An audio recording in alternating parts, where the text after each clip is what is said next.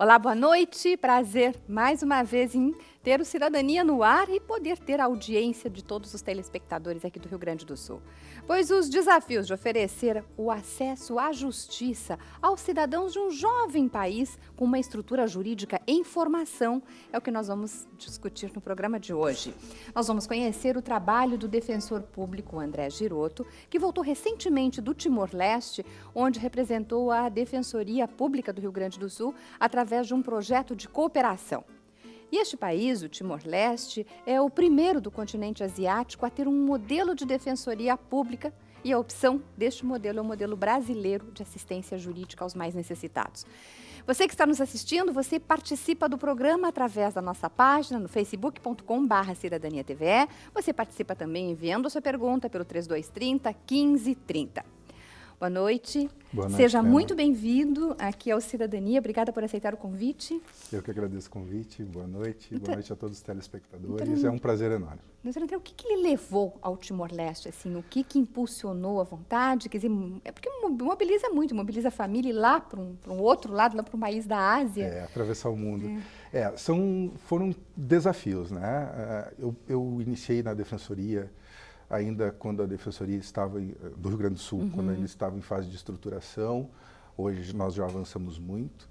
E o desafio de, de colaborar com a experiência que a gente adquiriu ao longo do tempo, com colegas, com uma estrutura que é uh, cópia da nossa. Uhum. Então, querer participar de uma nova experiência, crescimento pessoal. São todos esses aspectos aliados nos levaram a essa empreitada. Deve ter sido uma experiência muito bacana, Sem certeza. dúvida, a, a melhor, melhor e maior experiência da minha vida. Uhum. Por que, que uh, o Timor-Leste está levando esse modelo brasileiro de defensoria pública? Ele está, está sendo implantado lá, o modelo brasileiro, é. não logo após a desocupação, a Indonésia, o Timor-Leste foi ocupado por 24 anos pela Indonésia, né? Ah, de 1975 a 1999. Antes era uma colônia portuguesa. Era uma colônia portuguesa. E após a desocupação da Indonésia, o, quem administrou, houve uma administração transitória da ONU. Né? E quem fazia essa, esse gerenciamento do país era o embaixador brasileiro Sérgio Vieira, Sérgio Vieira de Mello. Né? Então, uh, um dos regulamentos que ele uh, editou quando administrava o Timor-Leste foi um regulamento criando um modelo de assistência jurídica gratuita. Né? E esse modelo que ele adotou, que ele editou através de uma resolução, foi o modelo brasileiro. Né? Uhum. Né? Então, hoje, a, a gente pode dizer tranquilamente que o modelo de defensoria, de assistência jurídica a população carente de Timor-Leste é o modelo que inspirou a Defensoria Brasileira, que criou a Defensoria Brasileira e, por consequência, a Defensoria de Timor-Leste. O que, que caracteriza? Então, são irmãs, é a irmã mais nova. Então, são quase que juntos, assim, tudo. E o que, que caracteriza esse modelo? A, a, gente... a, a estrutura de Defensoria de Timor-Leste hoje, a estrutura de Defensoria é a mesma estrutura brasileira. Né? Nós temos defensores públicos atuantes em nível de primeiro grau, com atendimento ao público, tanto na esfera civil como na área criminal. Nós temos uh, uh, modelos de mediação dentro da defensoria. Nós temos uma estrutura de organograma da defensoria muito parecida com a Defensoria Pública Brasileira. Nós temos um, o gerenciamento, né, que é a administração superior da Defensoria de Timor-Leste, é semelhante à Defensoria Pública Brasileira, através de um defensor público geral, através de um Conselho Superior de Defensoria. Então, a estrutura e a forma de atuação da Defensoria Pública de Timor-Leste é a mesma que é adotada no Brasil. Então, nisso aí foi bem, não, foi, houve uma tranquilidade. Não, Mas num país que tem um sistema jurídico em, em formação, né, como, como a gente acompanha, que desafios que foram? Esse sim, esse sim. Ah, o, o, sistema jurídico de Timor é um sistema jurídico complexo. Né? Nós temos um, bem diferenciado a questão do direito, podemos dizer, direito tradicional, que é o direito voltado aos costumes, ao direito da da, da, história, é o direito da cultura, é o direito da família, é o direito do ancestral. E nós temos também o direito que nós podemos dizer direito formal, que é esse uhum. direito que a gente que conhece é hoje, sim. o sistema jurídico que a gente conhece hoje, né? o sistema de tribunais, o sistema de instituições como o Ministério Público, Defensoria Pública, o direito positivado, aquele que está no código. Né? Só que uh, essa mistura que essa mistura, essa, essa convivência do direito tradicional com o direito formal, que é a grande complexidade de Timor. E é aí que está a grande dificuldade daqueles operadores que saem, por exemplo, do Brasil, de Portugal, de Cabo Verde e vão operar em Timor-Leste. Né? É, essa é a maior dificuldade. Poder uh, adequar e adaptar aquele direito que a gente conhece, o direito positivo, o direito que está no código, com a cultura. a cultura. com aquilo que eles preservam, com aquilo que é mais importante para eles. Né? E a gente consegue hoje, dentro de Timor-Leste, fazer uma secção uh, muito clara nisso. Né? Nós temos hoje uh, nas, em quatro distritos, onde possuem sedes dos tribunais, que seria Dili, que é a capital do país, uh, Balcal, Uicuce e Suai, onde estão situados e sediados os tribunais, nós temos uma visão do direito formal, uma aceitação da comunidade em relação ao direito formal. Pois é, porque tem uma questão cultural e tem a influência também da Indonésia, que ficou durante muito tempo. E os operadores do direito de lá, como é que. Você está sendo formado por pessoas daqui? Seria mais ou é, exato. Isso. Nós temos lá os operadores do direito, é diferente daqui um pouco, tá? Uh, aqui no Brasil, quando a gente presta, vai ingressar numa carreira jurídica, por exemplo, o Ministério Público, a Defensoria Pública, o Poder Judiciário, uh, aqui no Brasil se presta o concurso direto. Certo. Né? Se presta o concurso para a carreira. Lá não. Lá os bacharéis em direito prestam o um concurso para ingressar num centro de formação jurídica. Certo? Então é uma escola. Todos estudam juntos e após uh, o ter, no, com o término do curso, as notas, as melhores notas vão escolhendo as carreiras. Então, o primeiro lugar escolhe a carreira que, de, que deseja, o segundo escolhe a carreira que deseja. A nossa atuação se deu também nesse centro de formação jurídica. Né? A questão toda é que esse centro de formação jurídica, o corpo docente, ele é formado todo por internacionais. Não existe nenhum docente timorense. Uau! Todos. Todos são portugueses ou brasileiros hoje. Uhum. Né? Hoje, então, uh, processo penal, penal, direito, direito processual penal, direito penal, direito civil, direito As processual civil. todas também com pessoas de... de... de, de não, e aí, com essa formação, eh, já estamos lá no quinto curso, então existem profissionais oriundos desse curso, Sim. né? Mas o sistema hoje ele é auxiliado, cada área, por cada instituição, por por países. Né? O Brasil é responsável por dar, ajudar na estrutura e fortalecimento da defensoria pública. Né? Cabo Verde hoje auxilia na estrutura e fortalecimento do Ministério Público. Né?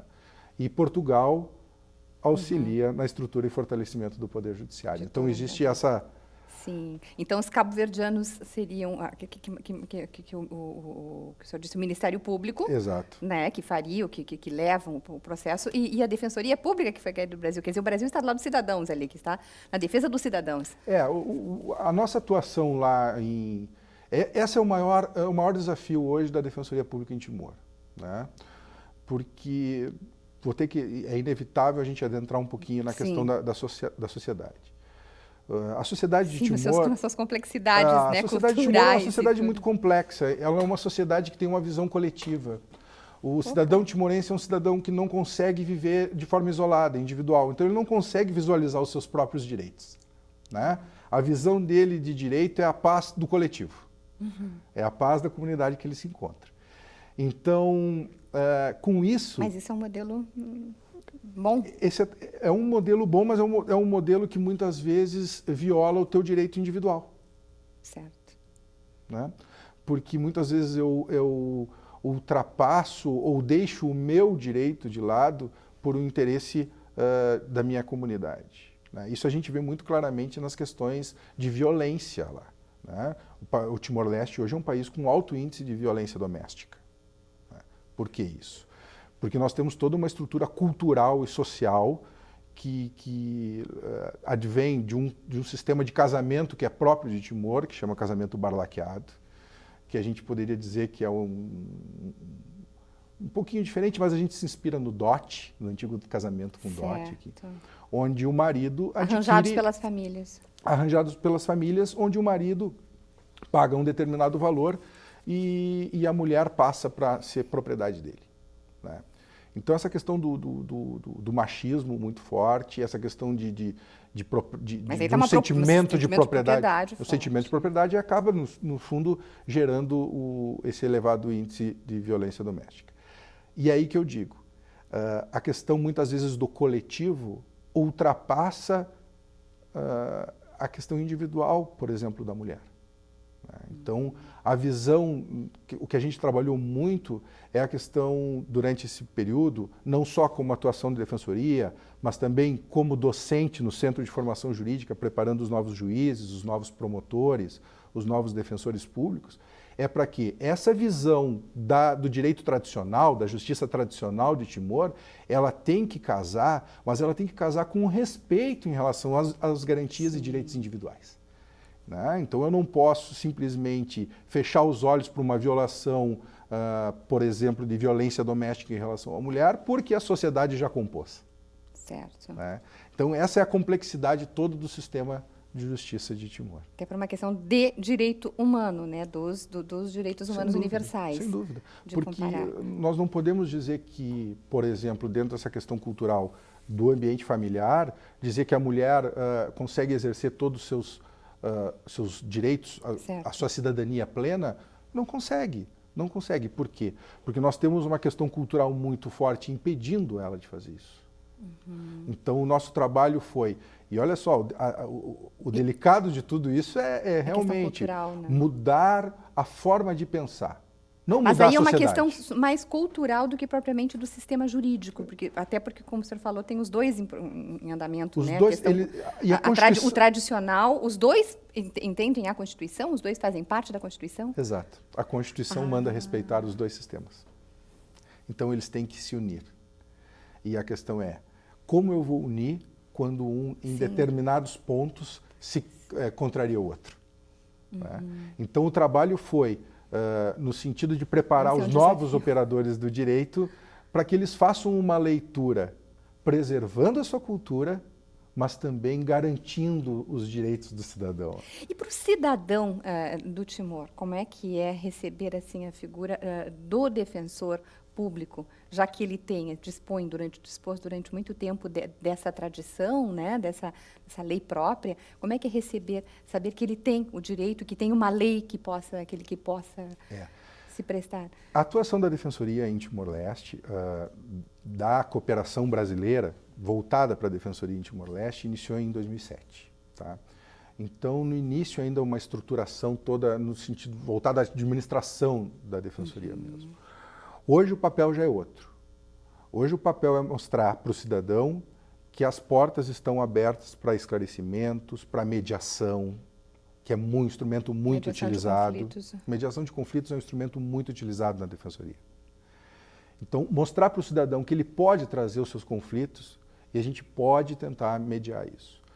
O que eu posso dizer que ao longo desse um ano que eu permaneci lá, que no início realmente no início, uh, há um olhar de desconfiança, porque é um internacional, é uma pessoa que vem de fora, uh, me dizer como eu tenho que fazer. Sim.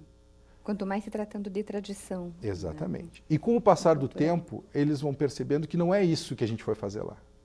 Uhum. Eu não fui para lá para dizer o que é certo e o que é errado. Né? Eu fui para lá para ajudar.